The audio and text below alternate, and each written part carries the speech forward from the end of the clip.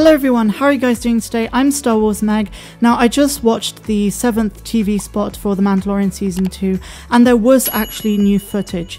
At one point in the new TV spot, we see Mando on the ice planet, which most people assume is Ilum, and he's shooting probably, you know, the ice spiders or at something. And behind him, we see a character who we did actually see on Mon Cala as well in the first and second trailers.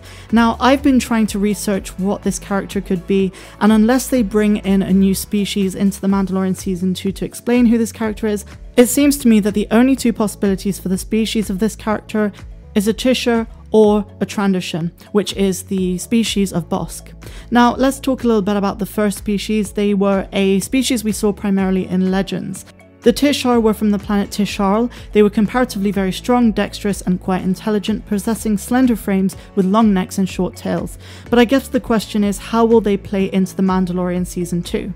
To put it simply, the Tiss'shar were known across the galaxy as resourceful business beings they could be found on all the major hyperlanes, and Tiss'shar corporations were aggressive in their search for new markets and business opportunities throughout the galaxy, primarily working with bounty hunters, which is exactly why I believe this species is what we see in the trailer. Again, we can't really comment on how this person will play into season 2, but it seems by what we know about the species that it's right up the alley for who Mando would run into to help him on his quest or as a side mission along the way.